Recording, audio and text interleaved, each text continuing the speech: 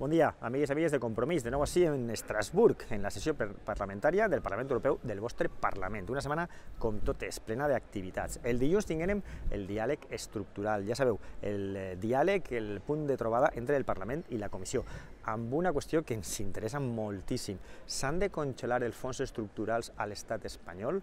Eh, legalment sí. Per què? Perquè el govern espanyol no ha fet els deures, perquè no ha complit els resultats macroeconòmics que li exigia la Comissió.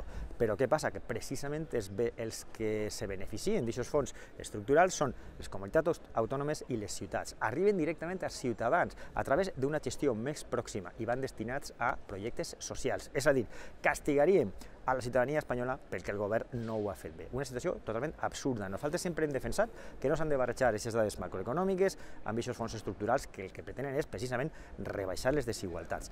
Sembla que finalment tota la gent estava d'acord, després d'un diàleg molt tens, les comissions, eh, els representants del Parlament, dels diferents grups, en què eh, no s'han de congelar aquests fons, tot i que la eh, legalitat diu que sí. Per tant, el que s'ha compromès la comissió d'aquella manera és a buscar una fórmula per a castigar a l'estat espanyol, al govern espanyol, però a la vegada no congelar els fons. Veurem a veure què passa i continuarem pressionant. I el dimarts, una bona notícia, el Parlament va ratificar amb una amplíssima majoria els resultats de la COP21, de la eh, cimera del medi ambient i per a eh, evitar el, el eh, canvi climàtic. És simbòlic, però és molt important. Ara estem esperant que eh, la resta dels estats que encara no ho han fet ho facin, entre ells l'estat espanyol. I finalment un debat sobre la preparació del nou Consell Europeu amb algunes notícies realment eh, terribles. Eh, paraules dels representants del Consell Europeu parlant d'evitar l'arribada de migrants irregulars i el senyor eh, Juncker, president de la Comissió, parlant de reforçar les fronteres. Estem utilitzant paraules buides per amagar la realitat.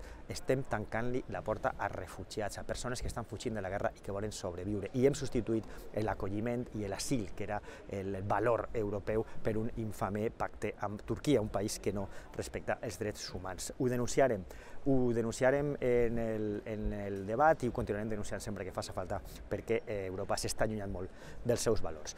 I avui també tenim notícies internes de la nostra coalició de Primavera Europea. Ja sabeu eh, que nosaltres teníem un acord amb diferents grups per a presentar-nos al Parlament i, com podeu veure, no estic a soles. Està amb mi Florent Marsellesi, representant d'Equo en esta cooperativa política i número 2 en la llista. Per què? Perquè nosaltres estem compartint durant tota aquesta legislatura tot. Estem treballant en cooperativa amb totes les forces i teníem també un pacte, que era el de compartir el seient en eh, el Saló dels Diputats. Així que, a partir de la setmana que ve, eh, Florent Marsellesi serà el nostre representant, el representant de Primavera Europea i també el representant de Compromís. Jo continuaré lligat a l'oficina europea com ell ha estat fins ara. Continuarem treballant en equip, en cooperativa, en amistat, per les nostres idees i defensant-les amb tota la força. Però a partir d'ara ja sabeu que Compromís té un nou representant així. Jo estaré treballant per a Compromís i el nostre eurodiputat serà l'amic Florent Marsellesi. Bon dia, Jordi, moltes gràcies per tot. Bon dia, amigues i amics de Compromís del País Valencià. Estic, estic molt content eh, i il·lusionat de ser el vostre pròxim eurodiputat. I ja sabeu, continuaré treballant per les nostres prioritats, la justícia social, l'ecologia política i la democràcia. I, per cert, per supost, la veu de les valencians i les valencianes al Parlament Europeu. Moltíssimes gràcies, amics. Tenim el nostre nou eurodiputat en marxa i, com sempre, una passada molt forta des del Parlament Europeu, des del vostre Parlament.